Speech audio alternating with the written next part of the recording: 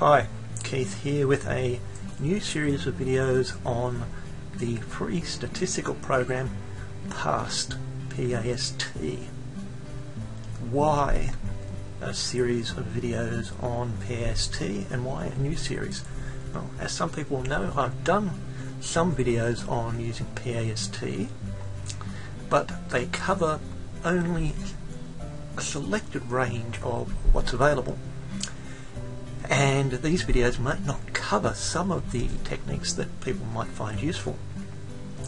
So this new series is going to look at some of the more commonly used statistical methods and how they're implemented in PAST. And one reason for doing this is, as you can see from the website here, PAST does an awful lot of things. And the authors are quite proactive in adding in new capabilities and adding in some of the latest types of statistical analyses such as ANOSIM, NP MANOVA and others. So first of all this is the website where you can download PAST and get the manual. The manual is also constantly being updated and revised and it's not always up to date with the program itself. And this is a Windows program. It requires no installation. It runs as downloaded, so you can run it from a USB stick if you want. Once started, it looks like this. And here are a couple of the reasons why I'm doing this series of videos. It has quite a large range of some conventional statistical procedures, correlations, F and T tests, some standard non-parametric procedures, Mann-Whitney, Wilcoxon, ANOVAs.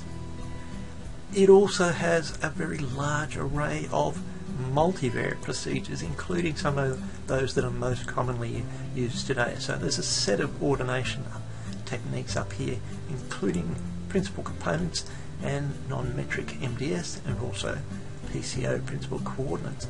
It's got cluster analysis.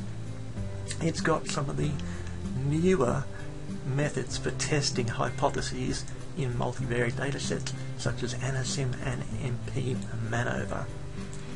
It would be hard to find an equivalent array of methods in any other package let alone one that is free and relatively small.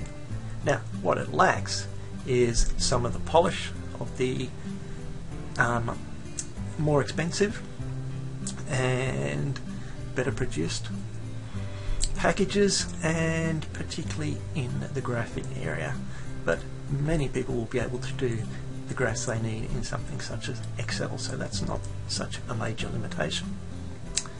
Now in the remainder of this video I'm just going to talk a little bit about the data sets that I'll be using and I'll refer back to this video in later videos.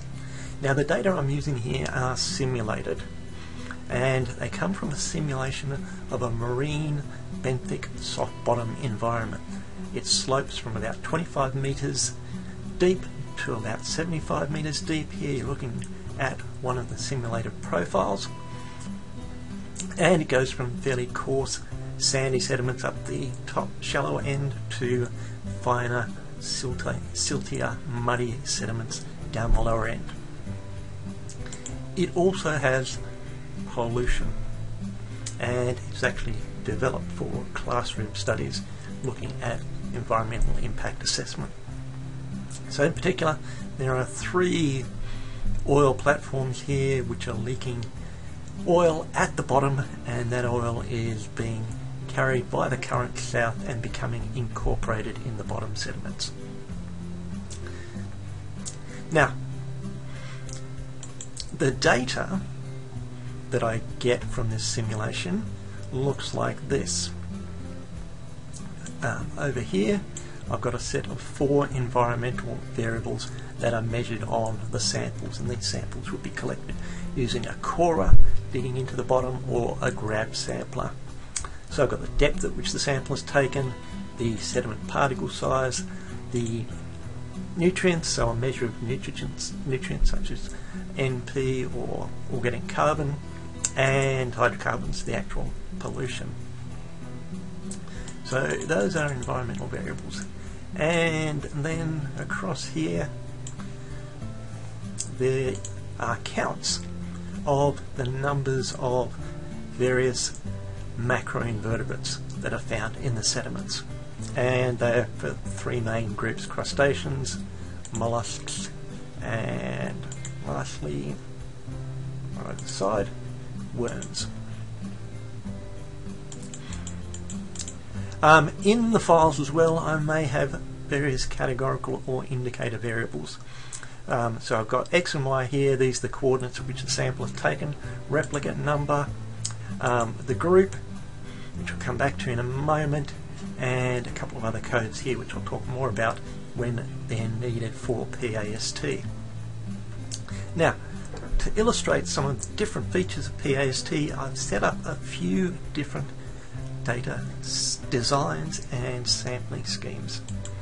So the first one here is a fairly standard comparison with two factors, control versus impact and location. So there, these are the locations of the three platforms. I'm only sampling the two southern ones and I've got samples on the western side and samples on the eastern side so that's one of my factors and the other is control sorry control taken out here or impact taken right next to the platform where it's leaking so we've got two impact and two control, or matched paired impact and control. So that's my CVI, control versus impact design.